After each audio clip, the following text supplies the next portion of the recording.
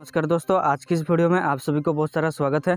तो दोस्तों, आज की इस वीडियो में मैं आपको बताऊँगा कि आप किस तरीके से ट्रू कॉलर ऐप पर कॉल रिकॉर्डिंग कर सकते हैं। अगर आपके ट्रू कॉलर ऐप पर पहले से ही कॉल रिकॉर्डिंग ऑप्शन इनेबल होगा तो जब आप किसी के साथ बात कर रहे होंगे तो आपके कॉलर स्क्रीन पर जो है रिकॉर्डिंग का ऑप्शन दिखाई दे रहा होगा। यहाँ पर मैं आपको मार्क करके भी दिखा देता हूँ। अगर आपका जो कॉल रिकॉर्डिंग है, वो पहले से ही डिसेबल होगा ट्रू कॉलर ऐप पर तो आपका जो कॉलर स्क्रीन पर कोई भी रिकॉर्ड का ऑप्शन नहीं हो रहा होगा। तो अगर आप भी अपने ट्रू कॉलर ऐप पर जो है कॉल रिकॉर्डिंग को इनेबल करना चाहते हैं और जब आप किसी के साथ बात कर रहे होंगे तो उसका जो कॉल रिकॉर्डिंग है, वो अपने फ़ोन में जो है सेव करके रखना चाहते हैं। तो आज की इस वीडियो को आप एंड तक ज़रूर देखना, क्योंकि मैं बहुत ही आसान तरीके से एकदम सही तरीका बताऊँगा, जिससे जो है आप ट्रू कॉलर ऐप पर जो है कॉल रिकॉर्डिंग करना सीख जाओगे। तो वीडियो बहुत ही ज़्यादा इंपॉर्टेंट होने वाली है तो वीडियो को अभी से लाइक ज़रूर कर देना, और चैनल पर अगर आप पहली बार आएँगे तो चैनल को सब्सक्राइब करके बेल आइकन को प्रेस करके ऑल पर सेट कर देना। इससे ये होगा कि मेरी आने वाली हर ऐसी इंपॉर्टेंट वीडियो की नोटिफिकेशन आपके पास सबसे पहले आ सके। तो दोस्तों, चलिए फटाफट से वीडियो को शुरू करते हैं।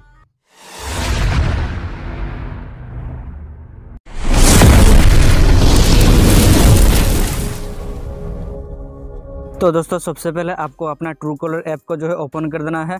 ट्रू कॉलर ऐप को जो है ओपन कर देने के बाद ऊपर आपको जो प्रोफ़ाइल का ऑप्शन शो हो रहा होगा, यहाँ पर मैं आपको मार्क करके दिखा देता हूँ। यहाँ पर आपको प्रोफ़ाइल का ऑप्शन शो हो रहा होगा। इसके ऊपर आपको सिंपल से क्लिक कर देना है।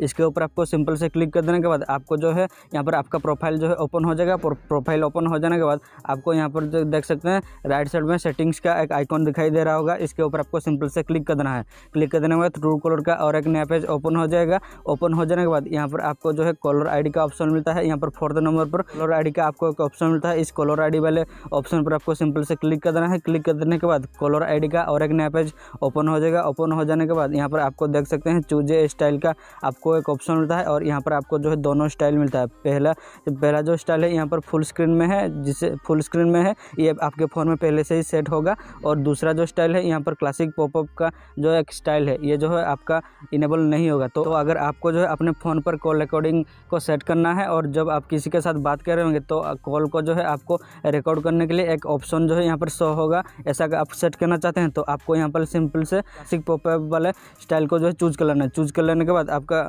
जो फ़ोन में ये क्लासिक पॉपअप वाला स्टाइल जो है सेट हो जाएगा और जब आप किसी के साथ बात कर रहे होंगे तो यहाँ पर जो है आपको साइड में मैं स्क्रीन दिखा देता हूँ। तो आपका जो कॉल रिकॉर्डिंग का ऑप्शन होगा यहाँ पर जो है शो हो शो हो जाएगा। जब आप किसी के साथ बात कर रहे होंगे तो आपका जो कॉल रिकॉर्ड का ऑप्शन है यहाँ पर जो है शो हो जाएगा। मैं आपको यहाँ पर स्क्रीनशॉट भी दिखा देता हूँ। यहाँ पर आपको रिकॉर्ड रिकॉर्ड का आपको एक ऑप्शन शो होगा जिससे जो है आप कॉल रिकॉर्ड को जो है कर सकते हैं और ये जो है आपके फ़ोन में सेव हो जाए होकर रह जाएगा।